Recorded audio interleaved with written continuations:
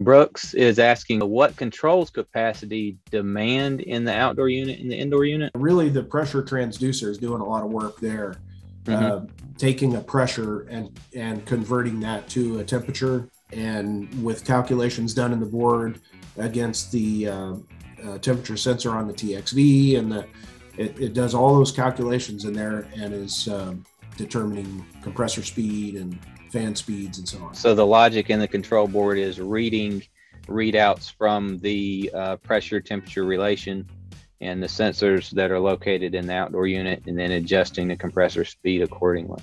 Yeah. That makes sense.